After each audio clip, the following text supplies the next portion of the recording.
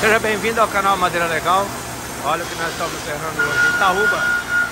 Madeira boa de primeira. Você quer comprar madeira boa? Tá aqui, Itaúba.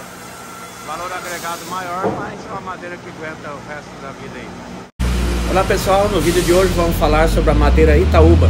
Seu nome científico é Mesilaurus Itaúba e suas características e usos são A Itaúba é uma madeira nobre encontrada na América do Sul principalmente no Brasil, Bolívia e Colômbia. Ela é conhecida por sua alta resistência, durabilidade e beleza. A madeira de Itaúba apresenta uma coloração.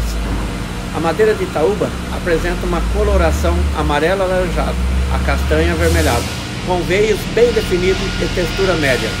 Ela é densa, resistente e possui alta resistência ao ataque de cupins e fungos, o que torna uma excelente escolha para construção como decks, telhado, estruturas de casa e móveis.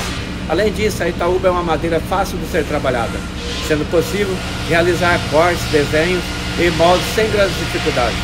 Por essas características, a madeira de Itaúba é bastante valorizada no mercado da construção civil e de marcenaria.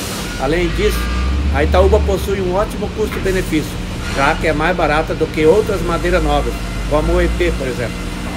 Por fim, é importante ressaltar que a Itaúba é uma madeira sustentável, já que sua extração é feita de forma controlada e legalizada. Projeto de manejo florestal de madeira nativa. Portanto, se você está procurando uma madeira de alta qualidade e resistência, a Itaúba pode ser uma excelente escolha. Espero que tenha gostado do vídeo de hoje e que tenha aprendido um pouco mais sobre a madeira Itaúba. Se gostou do vídeo, não esqueça, dá o seu like e se inscreva no canal para participar e ajudar e receber muito mais conteúdo como esse. Até a próxima.